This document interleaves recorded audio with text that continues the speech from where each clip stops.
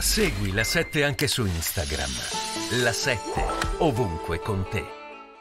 Eh, eh, torno da te Alan e torno ovviamente da Antonio Padellaro, ma vedo collegato, sono molto contenta che sia possibile il collegamento, il collegamento, con Lorenzo Cremonesi, super inviato del Corriere della Sera e credo Lorenzo che tu stia andando a Kiev, dimmi se sbaglio.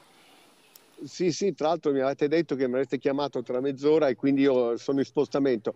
Arri sono arrivato, se guardate fuori dal finestrino, sono entrato eh, da, in Kiev proprio pochi minuti fa, sono arrivato adesso in città perché sono stato in questo ultimo mese, da oltre un mese nel Donbass, ero a Avdivka a seguire la battaglia perduta dagli ucraini eh, nel Donbass, appunto Avdivka, e prima ero a Kharkiv, che è la seconda città del paese che i russi provarono a prendere eh, due anni fa anzi entrarono parecchio ed è la città che era considerata più filorussa, oggi non è affatto così, ma quindi mi sono seguito un po' i fronti della, della, guerra per ricostruire e ricordare quello che avveniva due anni fa e quello certo. che sta avvenendo adesso. E rispetto a quello che succedeva due anni fa, cosa è cambiato? Intanto proprio nella percezione di chi lì ci vive, ti chiedo Lorenzo. Ma allora, eh, vediamola con la prospettiva due anni fa. Friedman ha fatto bene a ricordarlo. Due anni fa sembrava che la città dovesse cadere da un momento all'altro, c'erano i carri armati qui, qui, che stavano entrando a Kiev, abbiamo visto la resistenza. Qui, in queste strade dove siamo adesso fermi, eh, c'erano le, le, barricate, Kiev, che è una città di 4 milioni, oggi sono 3 milioni e 8, 3 milioni e mezzo, quindi è ritornata a vivere, allora era vuota, c'erano meno di 2 milioni. Eh, Kharkiv erano 2 milioni, quando ci andai era a fin del mese, c'erano 300 mila persone, oggi ce n'è un milione e tre.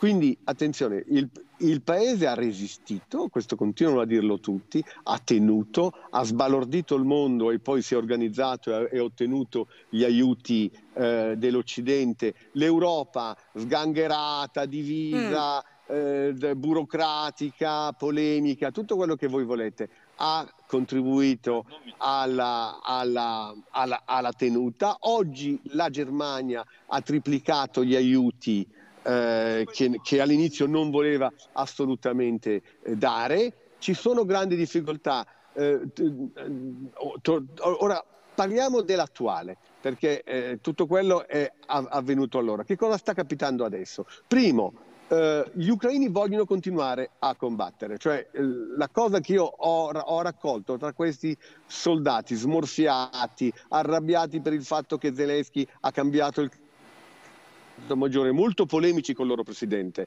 eh, stanchi perché sostanzialmente quei 400.000, quei 500.000, molti dei loro volontari della prima ora sono ancora gli stessi, certo, quelli che certo. si mobilitarono. Quindi stanchi proprio fisicamente, questo... dici, oltre che eh, psicologicamente. Guardate, l'altro giorno ero nelle trincee eh, tra Bakhmut e Avdivka, ero con, dei, con, una, con, con degli uomini della eh, della terza brigata, che è questa brigata specializzata, molto eh, di, di, corpi scelti, che era stata mandata proprio per aiutare l'evacuazione di Avdivka.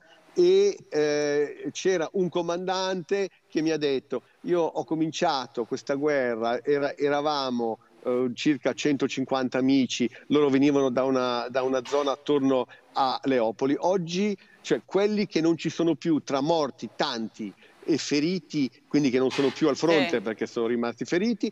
Eh, oggi siamo rimasti il 20%, pensate questo, pensate questo. Tra l'altro lui mi ha nominato un altro problema che, di cui si parla poco, la post-traumatic syndrome che avviene sempre nelle guerre, eh, certo. e, l'abbiamo visto in Iraq, cioè eh, danni psicologici, gente che ha bisogno di essere ricoverata le, letteralmente più che altro per disordini mentali, problema di, di famiglie divise, qui c'è un problema demografico profondissimo, l'abbiamo scritto Sì, diciamo che il, non, è, non, è, un tema che puoi ribaltare in automatico sulla Russia perché lì per esempio il problema dell'arruolamento non c'è, cioè è un altro tipo di arruolamento e numeri sono ben diversi. Quindi anche questa certo. è una certo. questione, no? Ed è, ed è, sintomatico della stanchezza, del fatto che eh, ci sono grosse accuse per la corruzione, per esempio, cosa di cui si parlava poco sì. il primo anno, e cioè il fatto che negli centri di addestramento sono eh, girate bustarelle di migliaia. L'altro giorno c'erano delle foto di un centro di reclutamento, se non erro, vicino a Odessa, c'erano pacchi di dollari, migliaia e migliaia di, di centinaia di migliaia di dollari pagati. Quindi tutto questo attualmente conferma. Però eh, da qui a dire che il paese sta, sta perdendo, attenzione, mm. il, il paese è in difficoltà il paese è in difficoltà. Allora aspetta, ti fermo sulla difficoltà. Aggiungerei solo, voglio... aggiungerei solo sì. una, un'ultima cosa. Quello che, che, qui dicono, la variabile che non dipende da noi sono gli aiuti. Avdivka eh, certo. è, è caduta perché mancavano munizioni, un proiettile da 155 mm e quindi quello che loro dicono, se l'Occidente continuerà a aiutarci come ha fatto il, primi, il primo anno, noi teniamo e Allora, allora arrivo Alessio, Questo voglio sentire però Antonio Padellaro perché Antonio questo